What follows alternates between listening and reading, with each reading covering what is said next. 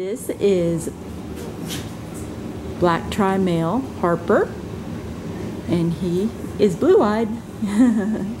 Pretty puppy. And that is black tri-male Harper. He will be four weeks old on Wednesday. So he's over three and a half weeks old now. And that is Harper. Pretty blue-eyed black tri-male. Other blue-eyed black tri-male, his name is Hyken. A little more white on the feet, a little less white on the nose. Two blue eyes, the same as his Harper. And this is Hyken. Another beautiful blue-eyed black tri-male. Red tri-male, Hayes. He's a little bit lighter red, but still a very dark red. Got a lot of nice copper coming in. And this is Hayes. Red tri-male. This is Hayden. He's now Limerick.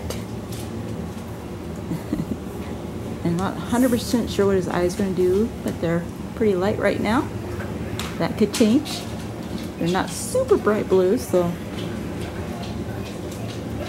they could go either way. He's a pretty boy though, lots of nice copper. And that's Limerick, previously Hayden. Blue Merle female, Hadley, now Riley.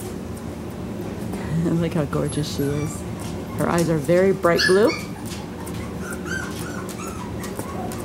It's still possible for them to turn into a partial, but look good. She was reserved with her tail. and that is Riley. Is Blue Merle Mill Hemi. Very pretty puppy. Chiron just threw a lot of nice, nice copper on these puppies. And that's Henny, Blue Merle Mill. This is Red Merle female, Heidi. Really pretty puppy. And that's Heidi, Red Merle female, at three and a half weeks. Hank, he's a red tri-male. He does still have his tail. That's red tri-male, Hank. His eyes are looking very bright blue.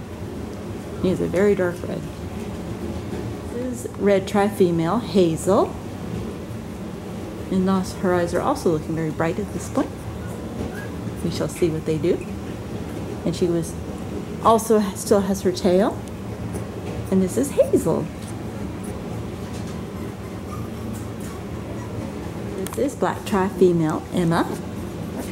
And so far she has dark eyes. It's okay, Emma. I know I got you hanging up in the air.